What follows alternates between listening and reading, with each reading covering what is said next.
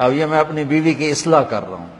तुम चूँकि मौलवी बन रहे हो ना, जब तुम्हारी शादियाँ होंगी, तुम्हें शैतान पट्टी पड़ाएगा, मैंने बीवी की इसलाह करनी। बीवी की इसलाह नहीं करती, बीवी से इश्क किया जाता है।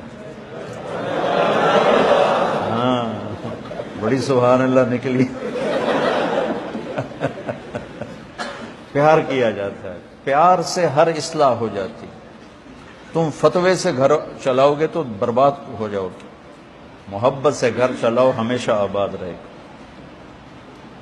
उससे बढ़कर कौन है तुम्हारी इज़्ज़त की हकदार जो एक बोल पर तुम्हें इज़्ज़त दे देती है? तुम्हारे हवाले अपनी इज़्ज़त कर देती फिर तुम उसे गालियाँ देते हो, उसके माँ बाप को कोसते हो, उसे जलील करते हो, उसे ख्वार करते हो, और ये बड़ा मर्द है जो बीवी को दबा के रखे। लानत है इस सोच पर।